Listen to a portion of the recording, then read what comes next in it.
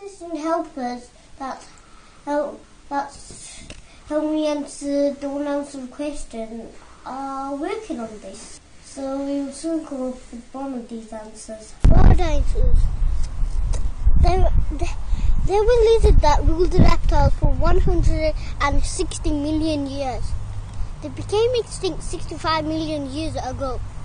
The, the ferocious, biggest, meanest, largest, powerfulest of all of them, the Spinosaurus. Dinosaur means terrible or powerful lizards. Dinosaurs weren't lizards at all. They were reptiles. The reptiles are closely related to, um, to lizard and amphibian. Lizards and amphibians were closely related to reptiles. So that's one reason they could the meaning like that. Now we're going to see what saurus means. Saurus means lizard. Dinosaurs weren't lizards, which I already told you. But they're half lizard and amphibians and half reptiles. Deinos means fearfully great or terrible lizard. No, I don't think they would be fearfully great to be fearfully great. What was the biggest dinosaur? No, there's quite a few biggest dinosaurs. Well, I would choose Mamenchisaurus. How oh, can I just forget because now Mama may not only be one of the biggest, maybe some others. Now it it is quite long. If you see that, it's quite spectacular. T-Rex had 60 teeth and 1.5 inches. They were curved to prevent prey escaping. Its teeth were extremely strong. Whenever you lose it, it came back. The problem with T-Rex is T-Rex is too on eating, never stop eating. If there were so many T-Rexes in this world, everything would be eaten up. There wouldn't be much for any of the dinosaurs. That's the problem with T-Rex. The only thing, the only thing is, which is unfortunate with the T-Rex, is the other big animals such as Spinosaurus, Gigantosaurus, Carcharodontosaurus, them are wiser and like baryonyx. Then you think about what time, at what angle, at what, and how to get it, how to do them things. They always think about it before they do anything. The T-Rex didn't normally do that. He's too keen on anything. Spinosaurus is the powerfulest. Wisest and widest and biggest. It's he always thinks about which what you should do. Is it it trying to go there? It then think that might harm me. There are no flying dinosaurs, so I would say no. There were a different type called pterosaurs. Was able to fly, swim, and walk. So that's very lucky. But people get people get confused when some scientists just say type of dinosaur called pterosaurs, but they're just saying that make it less confusing. They're flying reptiles. A, rep, a flying reptile is hmm. called a pterosaur. A flying reptile that lived in the past with the hmm. dinosaurs are called the pterosaurs. What colour dinosaurs? Okay, what colour dinosaurs? No one actually knows. So that's the basic thing. How does it do that? One, the unsolved question. How does it do that? Scientists give colours for getting work or they they get it from the fossil light re- reflection, which is the actual colour. Guessing work it might be not be the actual colour, but light reflection gives the actual colour. The smallest dinosaur was Microraptor. Now this is not a dinosaur. It's a pterosaur. Microraptor. Found, found in equatorial China. That means so in the middle. Microraptor had four wings. It was a bird, but it was actually a bird. It's called bird called pterosaur. What? That's the smallest dinosaur ever found. Microraptor is one of the smallest. It was about the size, for example, about the size of. Eh, if just wait outside of this book. Microraptor is eh, very small. Now I will give you a picture of it. Now this is me Microraptor. This little thingy is me Microraptor. Them spinning dinosaurs were all sometimes called mosasaurs or marine reptiles. There were lots of them, like Elasmosaurus, Mm-hmm. Which was the biggest of all dinosaurs. The biggest of all of the things, all of the things that's living on Earth now, is Liopleurodon. It lives in the sea, so it's not a dinosaur, it's a mosasaur. It's a mosasaur. In the Jurassic period, which is in the Mesozoic era, Liopleurodon and and the rest, there were so many of them living in the sea, eating fish, eating fish as well as plants. Successfulest of all them was E- Ichthyosaurus. Ichthyosaurus is not is quite small, but intelligent, has good night vision, can leap up. They they can last without oxygen for quite a long time. They eat fish, so they have to go up to breathe. But they can stay in the water for as long as they want. It's so fascinating that they can stay in the water as long as they want. They can go over there when they want. But they've got to watch out for sharks. Various kinds sharks. There were lots of types of sharks. There was a early great white shark, very powerful. Uh, it's not one of the oldest living creatures actually. Bacteria is. Bacteria is the oldest living thing. The sharks is the fourth oldest. Those three things are, you know, trilobite, trilobites, squids, algae. Well, algae is part of the bacteria. Well, algae live the same time as bacteria. Actually, the oldest living thing was actually land and you know land lava on the atmosphere. When dinosaurs go extinct is a very, very, very serious question.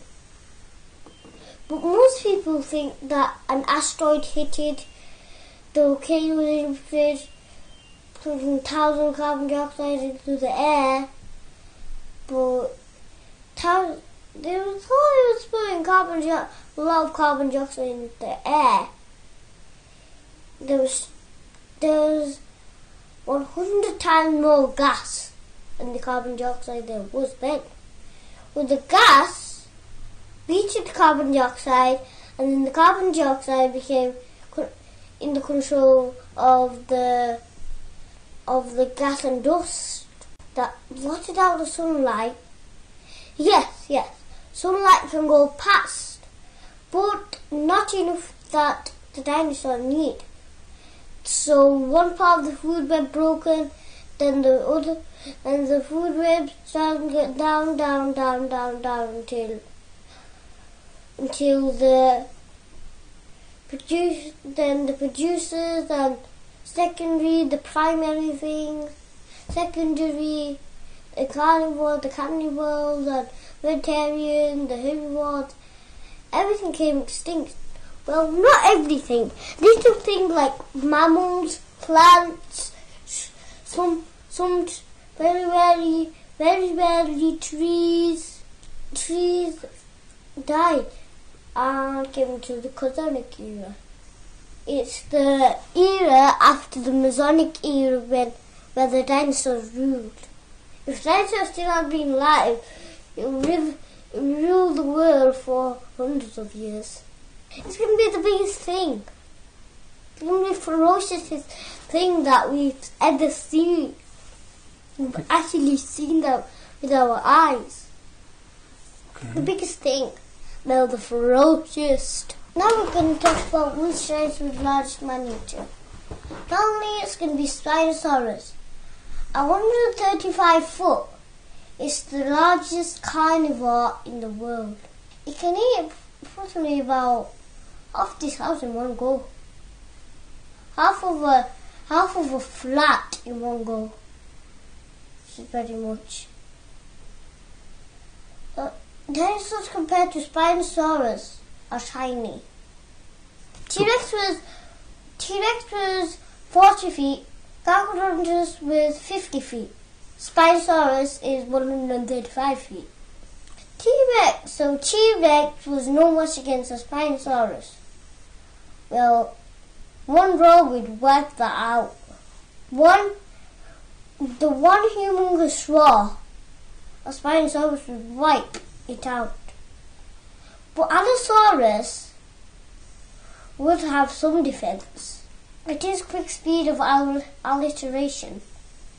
It, but Allosaurus sometimes wins. Allosaurus is quite a wise dinosaur. It can think very quickly, just as quickly as a computer. A little bit slower than a computer. It is very fast. Well, Spinosaurus is a little bit cold one but it but little bit cold but it but it keeps the blood warm and keeps the temperature down its need by itself. Allosaurus doesn't need that because it can keep its temperature by its own. Allosaurus can flex its mouth. Its mouth is quite very flexible. Although it has a big grip right, it can make it as tall as it can make it as tall as this room. Taller than this. You make it the size of this room right here. From here to there. Spinosaurus could make tha- that big, but it doesn't literally do that. Spinosaurus does that whenever it wants. Spinosaurus does literally do that. It makes it uh, about half of this size. So Allosaurus can make one of the biggest fights. Allosaurus has humongously a lot of grip. Instead of like teeth, it's about the size of that poster. It's about the size of that poster. And like if I just come here, it's like this to this big. And its actual shape is like this. So about quite curved. To the back and sometimes front. But the uh, front is very rare and not not very necessary. But Spinosaurus is quite is quite a clever dinosaur. Like when he grabs it, when he grabs it, it's unlikely that please let go at all. Because just before he can do anything, it shakes its mouth, which which which makes the dinosaur call very dizzy. Very dizzy, dizzy, dizzy, dizzy, dizzy. Just and it can't keep much control. Well, Allosaurus may may try quite hard to keep its grip. To make and dinosaurs like T Rex are trying to keep its grip and Spinosaurus moving it this. Ah, he's trying so much that both of them get quite tired. So let go and then they're off. They surely they quickly recharge and then Spinosaurus, Spinosaurus is after it. And then it pa- but sometimes when it packs up into a herd, then Spinosaurus then it's going to be challenging for Spinosaurus. Now, Allosaurus, Allosaurus and T-Rex uh, some, sometimes don't harm each other. Sometimes they just ignore each other. Tyrannosaurus is very similar to Allosaurus. They're the same size, the, the claws are the same shape, their teeth are the same shape, are the same amount of shape, their, their teeth are the same are the same 1.5 inches but Allosaurus is 1.5.50 inches point minus 50 inches which is quite big a little bit bigger than Spinosaurus I mean what do you call it? Yeah T-Rex so and then they pack up together and then we end up making the Spinosaurus a bit tired. When a pack of Spinosaurus comes, then obviously there's nothing you can do. I'm going to say the first types types of the dinosaurs that I found, but not the first one they ever found. Okay. Baryonyx was the first Spinosaur found, found by Mr. William Walker. Mr. William Walker didn't find all of it; he found the large claw and then a team of a team of scientists from Natural History Museum, which I will be visiting soon in England, set from there to find to find it. And what they found was one of the most amazing discoveries. Like like carnivores have a long shaped snout, many of them, Baryonyx now was long and it was incredibly similar to a crocodile's. It had, it had a short spine and its huge claw bone, which is about two down, which is about just one more inch bigger than Allosaurus's tooth, which is incredibly, incredibly big. Oh, it's big and it's enormously sharp. It was, if he was actually alive, it would dig in, it could, it could scratch metal and dig into metal. It would dig into metal. It wouldn't do much harm to that. Now, cannibals are carnivores. Now, we're trying to explain the difference about nocturnal, cannibal, carnivores, herbivores, and omnivores. And now, cannibals are mainly carnivores and the cannibals. As well as they as well as they are scavengers, which I'm going to explain about anyway. Cannibals eat the, the eat the same type from but only from another family. The same type. Like sometimes li- lions battle each other and kick them around like sometimes they make them die somewhere or eat a bit of flesh like sometimes die in cannibals.